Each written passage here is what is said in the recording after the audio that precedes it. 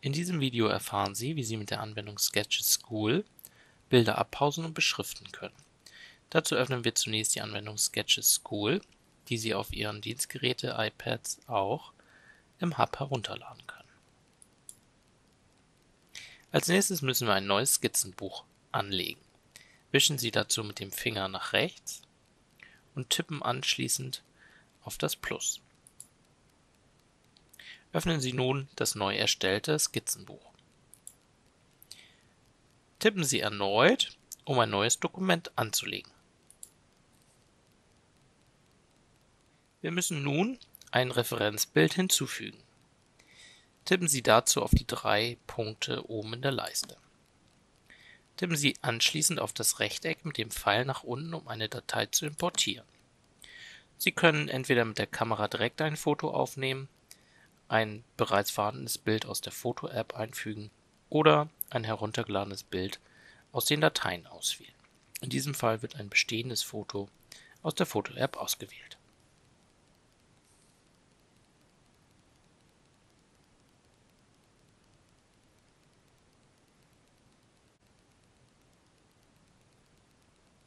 Das Foto kann nun vergrößert und verkleinert werden, indem Sie mit zwei Fingern Bild kleiner oder größer schieben. Im Anschluss können Sie noch eine Transparenz einstellen, damit es Ihnen beim Nachzeichnen etwas leichter fällt. Wenn Sie mit der Transparenz zufrieden sind, bestätigen Sie dies mit einem Klick auf einen Haken.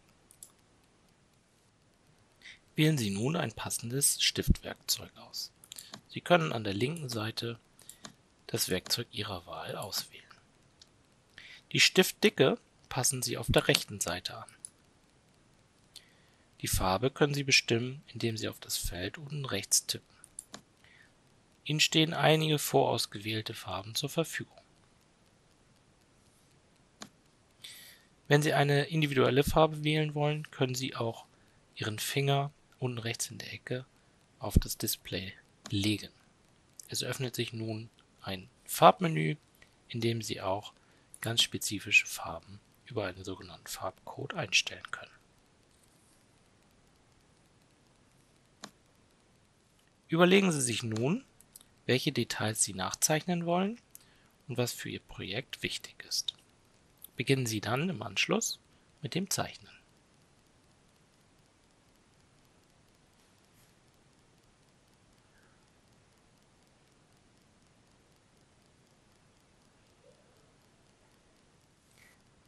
Wenn Sie mit Ihrem Ergebnis zufrieden sind, können Sie das Referenzbild im Anschluss ausblenden lassen. Tippen Sie dazu oben rechts auf das Auge. Das Originalbild verschwindet. Sie haben jetzt nur noch Ihre Zeichnung. Diese Zeichnung können Sie im Anschluss exportieren. Tippen Sie dazu wieder auf die drei Punkte an der Werkzeugleiste oben. Tippen Sie nun das Rechteck mit dem Pfeil nach oben hier können Sie Dateien exportieren. Entscheiden Sie hier, ob Sie das Bild in einem Album speichern möchten. Die Datei wird dann in der Foto-App abgelegt. Oder entscheiden Sie sich für In Dateien sichern, um die Datei in einem spezifischen Ordner abzulegen. In diesem Fall wählen wir die Option Bilder im Album speichern aus.